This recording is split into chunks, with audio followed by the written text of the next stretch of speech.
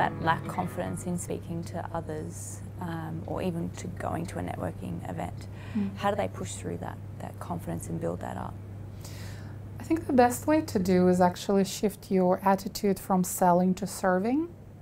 Because most people, when they network, they think that they need to run around the room, shove their business cards, do all the talking, and this is what they see as networking. But networking is more about uh, making connections and collaboration and also seeing what value you can give to that other person or that other business. So once you shift from selling to serving, you also understand that it's more about listening than speaking. So when you actually meet someone, it's better to spend 80% of your time listening to that person because you will learn what their wants and needs are, and then you'll be able to offer your value, how you can help them. If you're doing all the talking, you have no idea what is it they want.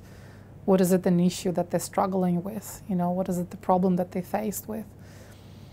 Um, so it's important to listen and to be of value. But there's a lot of networking is a form of marketing, selling, and branding. So I actually created a program which consists of 21 topics about how to turn networking into a productive marketing, selling, and branding tool. So this is just one of the points.